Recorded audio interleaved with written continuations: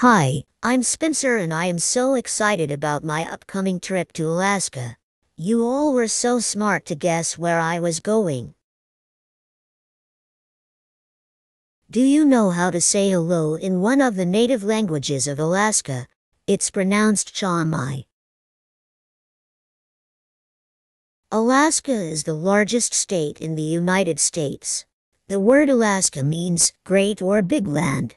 The state is surrounded on three sides by water and has more than 100,000 glaciers. I can't wait to show you the glaciers when I get to Alaska.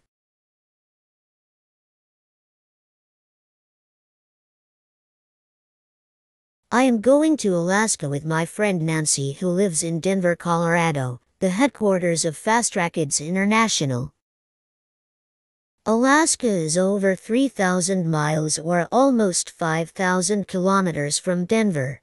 I am going to have to fly on an airplane because it's too far to walk.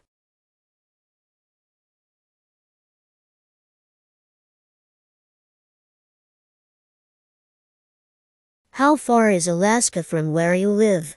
How would you get to Alaska?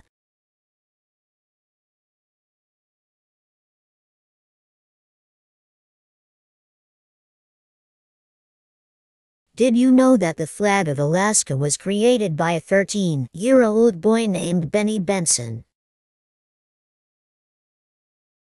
He won a competition in 1926. He chose blue to represent the sky and stars to represent the flowers.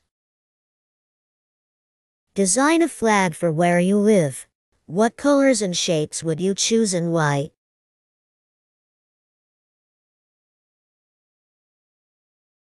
I am very busy packing for my trip.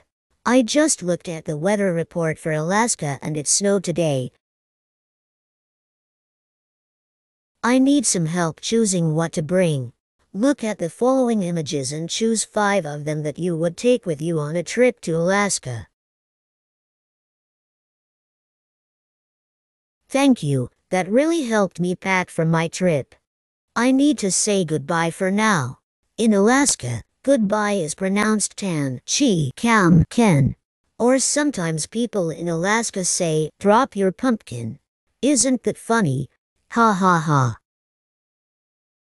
I can't wait to share with you pictures and experiences from my trip. Stay tuned for more.